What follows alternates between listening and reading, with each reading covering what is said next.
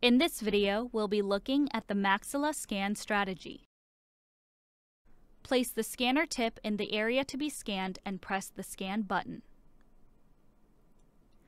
If you press the button outside of the mouth, the scanner may catch unnecessary data. Therefore, please place the tip in the mouth, then start the scan. We'll explain in detail while looking at the scan data. First, start with the distinctive shape on the occlusal surface of the posterior teeth and move to the anterior teeth. Due to the sharp incisal edges of the anterior, please take a zigzag course to obtain both labial and lingual surface data. Complete the anterior scan and then move to the occlusal surface of the opposite posterior teeth. As you can see on the screen, please tilt the tip toward the lingual side. Then the gingiva, teeth, and occlusal surfaces in the live view screen will be scanned in the ratio of 1 to 1 to 1. Continue again from the anterior to the posterior teeth.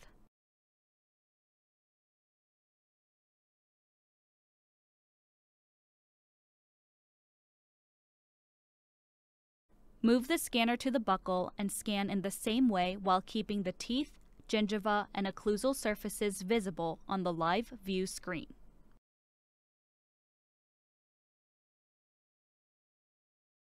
Make sure to capture the gingiva since it helps align the occlusion automatically.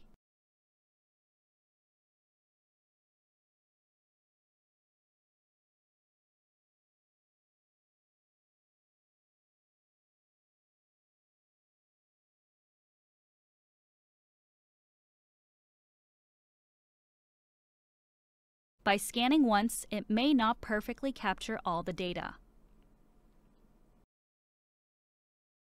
You may check the first scan data and perform additional scanning if there are any holes in the scan.